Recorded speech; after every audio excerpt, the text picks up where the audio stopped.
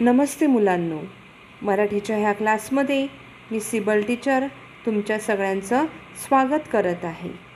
आशा आहे तुम्ही घरी सुरक्षित असाल आणि आपापल्या अभ्यासाला सुरुवात केलेलीच असेल. तर मुलांनो आज आपण आपल्या मराठीची पुढची जी कविता आहे पुढची जी पोयम आहे ती पाहणार आहोत. कवितेचं नाव काय आहे? कोणापासून काय घ्यावे? आता ह्या कवितेमध्ये काय सांगितलेलं आहे बघा बरं. मुलांनो निसर्ग. निसर्ग म्हणजेच नेचर ह्या नेचरमध्ये कोणकोणत्या गोष्टी येतात बरं? बघा सूर्य चंद्र झाडे डोंगर पशु पक्षी नद्या जमीन हे सगळं ह्या नेचरमध्ये येत असते. आणि मुलांनो एक गोष्ट तुमच्या लक्षात येते का? हे नेचर जे आहे किंवा हा निसर्ग आहे हा निसर्ग माणसाला काही ना काही देण्याचा प्रयत्न करत असतो किंवा हा काही ना काही आपल्याला देत असतो. आणि माणसं जी असतात ही नेहमी ह्या निसर्गापासून काही ना काही घेत असतात. वाईट गोष्टी नाहीत तर निसर्ग आपल्याला चांगल्याच गोष्टी देत असतो. कोणकोणत्या चांगल्या गोष्टी हा निसर्ग आपल्याला देत असतो बघा? सूर्यापासून आपल्याला काय मिळतो? प्रकाश मिळतो. त्यानंतर आपल्याला झाडापासून काय मिळते? सावली मिळते. आपल्याला ढगांपासून पाऊस मिळतो. आपल्याला ह्या जमिनीपासून अन्नधान्य मिळते. आपल्याला ही जमीन जगायला शिकवते. म्हणजे मुलांनो बघा हा निसर्ग माणसाला काही ना काहीतरी देत असतो. मात्र तो आपल्याकडून कोणतीही अपेक्षा करत नाही आपल्याकडून काहीही घेत नाही. तर आपण देखील ह्या पोयममध्ये असंच शिकणार आहोत.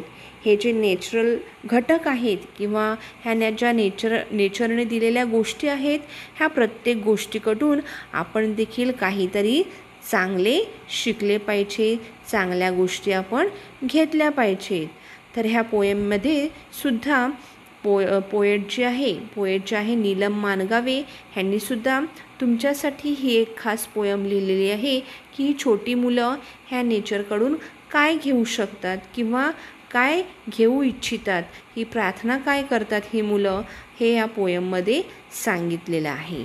पोयमचं नाव काय आहे? कोणापासून काय घ्यावे? चला तर मग बघूया आपली ही पोयम. तर मुलांनो आता मी ही पोयम प्रथम वाचते. त्यानंतर तुम्हाला एक एक स्ट्रँझा एक एक कडवं मी एक्सप्लेन करत राहीन. सगळ्यांचं लक्ष ह्या पोयमवर असू द्या. पोयम नंबर एट कोणापासून काय घ्यावी? सूर्यापासून रंग घेऊया चंद्रापासून शांती. चमचमणाऱ्या ताऱ्यापासून दिव्य घेऊया कांती. फुलापासून गंध घेऊया कोकिळाकडून गाणे. झुळझुळणाऱ्या झऱ्यापासूनही घेऊ नवे तराने. झाडापासून घेऊ सावली मातीपासून जगणे. गडगडणाऱ्या ढगापासूनही घेऊ जीवन गाणे. प्रभातकाळी एक शिकूया जगवीत जीव जगूया. संध्यासमयी एक होऊनी सारे मित्र हसूया.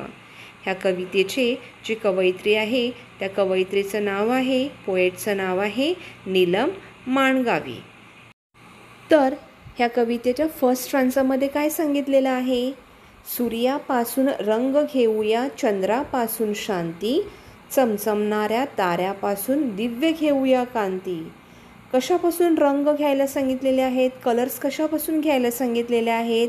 तर सूर्यापासून. सूर्य आपल्याला काय देत असतो? रंग देत असतो असं ह्या कवितेमध्ये सांगितलेलं आहे. आता सूर्य कसं रंग देणार मुलांनो? तर बघा तुम्ही बघितलेलं आहे सनराईज त्यानंतर सनसेट त्यानंतर दुपार होते ती. बघा ह्या तिन्ही वेळेला सूर्याचे रंग काय होत असतात? सतत बदलत असतात.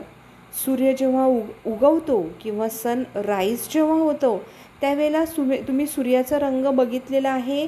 कसा लालसर किंवा पिवळसर होत असतो ना लालसर पिवळसर होत असतो.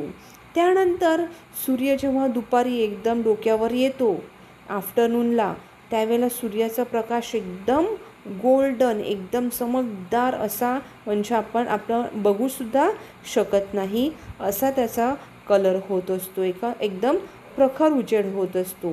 त्यानंतर सन जेव्हा सेट होत असतो तेव्हाचा कलर तुम्ही बघितलेला आहे का? कसा असतो तो? ऑरेंज थोडासा ऑरेंज टाईप होत असतो. तर हा सूर्य सतत काय करत असतो? रंग आपले बदलत असतो. तर अशा ह्या सूर्यापासून आपण काय घेतलं पाहिजे? रंग घेतले पाहिजेत आणि चंद्र. चंद्र म्हणजेच काय आपण म्हणतो? मून आता मूनचा कलर कसा असतो? सूर्यासारखा एकदम ब्राईट असतो. का एकदम शीतल किंवा शांत असतो. तुम्ही मून बघितलेला असेलच ना मुलांना आकाशात? कसा दिसतो मून तुम्हाला?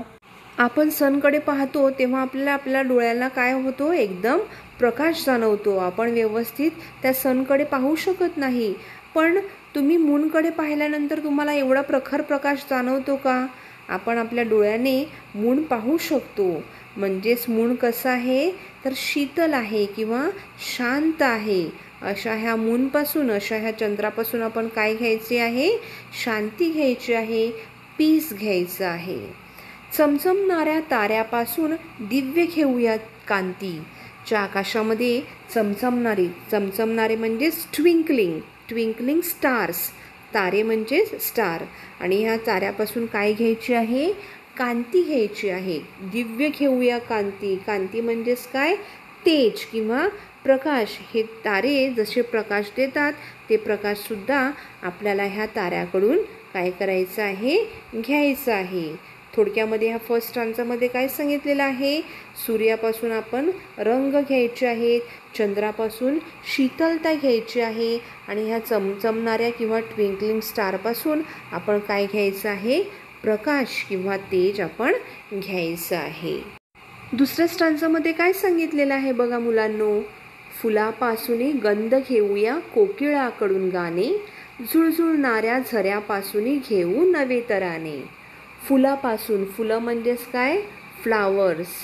तुम्ही बघितलेले असतील ना वेगवेगळ्या रंगाची वेगवेगळे गंध. गंध म्हणजेच काय? वास येणारी फुलं. गुलाबाच्या फुलाला वेगळा वास येतो मोगऱ्याला वेगळा वास येतो जाई जुई चंपा चमेली सगळ्या फुलांना वेगवेगळ्या प्रकारचे वास येत असतात. आणि ह्या वास ह्या फुलांपासून आपण काय घ्यायचं आहे? गंध घ्यायचा आहे. गंध म्हणजेच वास म्हणजेच स्मेल आपण घ्यायची आहे. कोकिळाकडून गाणे. कोकिळा म्हणजेच कुकू. कशी ओरडते ती? कुहू कुहू असा आवाज करून ती गाणं गात असते. आणि ह्या कोकिळाकडून आपण काय घ्यायचं आहे? आपण गाणं घ्यायचं आहे. ती कशी गाते? तिचा आवाज आपण घ्यायचा आहे. झुळझुळणाऱ्या झऱ्यापासून घेऊ नवे तराणे. झुळझुळणारे झरे. झुळझुळणारे झरे म्हणजेच काय? वाहणारे पाण्याचा झुळझुळ असा आवाज करणारे झरे. झरे म्हणजेच काय? आपण त्याला म्हणतो स्ट्रीम म्हणतो स्ट्रीम तर ह्या झऱ्यापासून आपण काय घ्यायचं आहे? जसा हे झरे पाण्याचा झुळझुळ असा आवाज करत जातात आणि तो आवाज आपण काय घ्यायचा आहे? घेऊ नवे तराने. पाण्याचा झुळझुळ असा आवाज करत जातात हे झरे. त्याप्रमाणे आपण त्या झऱ्यामधून काय घ्यायचं आहे? पाण्याचा आवाज घ्यायचा आहे. म्हणजे सेकंड स्ट्रांचामध्ये काय सांगितलेलं आहे? की ह्या फुलापासून आपल्याकडे नेचरने जी फुलं दिलेली आहेत त्या फुलांपासून आपण काय घ्यायचं आहे? स्मेल घ्यायचं आहे. कोकिळा जी आहे जी पक्षी आहे ह्या पक्ष कोकिळा पक्षाकडून आपण गाणं शिकायचं आहे. आणि जे झुळझुळणारे झरे आहेत जे झुळझुळ म्हणजे पाण्याचा प्रवाह किंवा पाणी झुळझुळ पाण्याचा आवाज करत जे झरे वाहतात झुळझुळ असा पाण्याचा आवाज करत जे स्ट्रीम वाहतात त्या झऱ्यामधून काय घ्यायचं आहे? नवे तराने किंवा त्या पाण्याचा आवाज आपण घ्यायचा आहे असं ह्या दुसऱ्या स्ट्रांचामध्ये आपल्याला सांगितलेलं आहे. सिवर थर्ड स्ट्रांचा झाडापासून घेऊ सावली मातीपासून जगणे गडगडणाऱ्या ढगापासून घेऊ जीवन गाणे. आता काय सांगितलेलं आहे?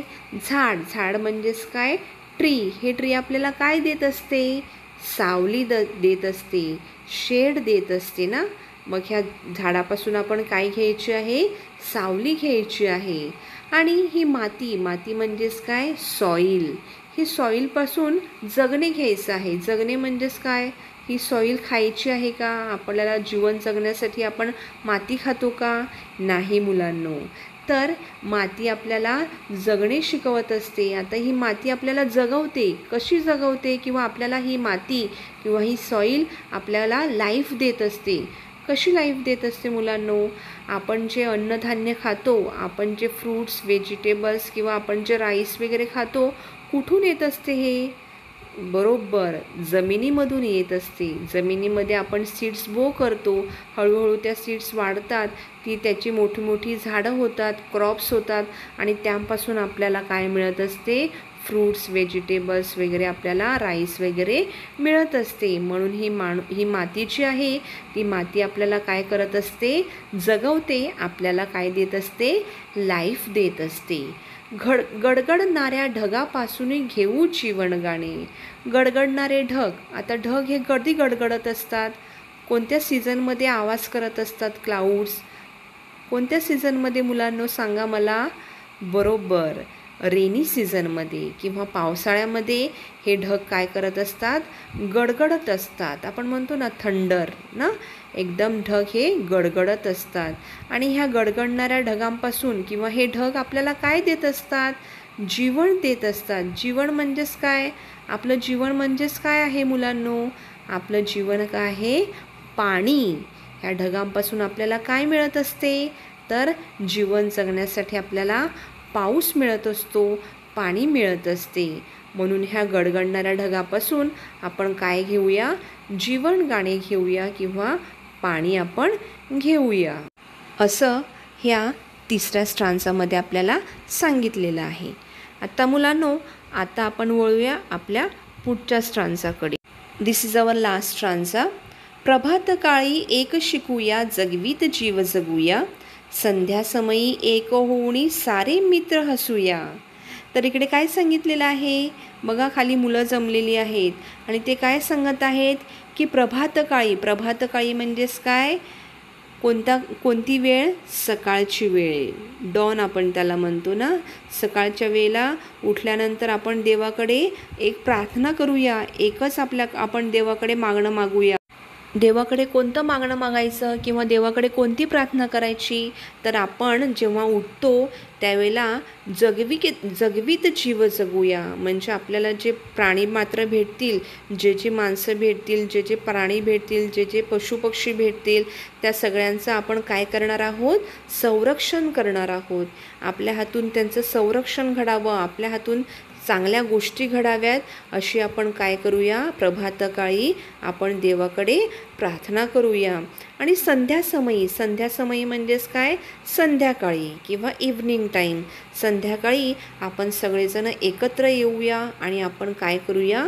खेळूया नाचूया आणि सगळे मित्र आपण मित्रमैत्रिणी हसूया. असं या कवितेमध्ये सांगितलेलं आहे. तर मुलांनो मला आशा आहे ही कविता तुम्हाला समजलेली असेलच. आता पुन्हा एकदा मी ही कविता रीड करते. सगळ्यांचं लक्ष ह्या त्या कवितेकडे राहू द्या. पोयम नंबर एट कोणापासून काय घ्यावे? सूर्यापासून रंग घेऊया चंद्रापासून शांती. चमचमणाऱ्या ताऱ्यापासून दिव्य घेऊया कांती. फुलापासूनही गंध घेऊया कोकिळाकडून गाणे झुळझुळणाऱ्या झऱ्यापासूनही घेऊ नवे तराने. झाडापासून घेऊ सावली मातीपासून जगणे गडगडणाऱ्या ढगापासूनही घेऊ जीवन गाणे. प्रभातकाळी एक शिकूया जगवीत जीव जगूया संध्यासमयी एक होऊनी सारे मित्र हसूया.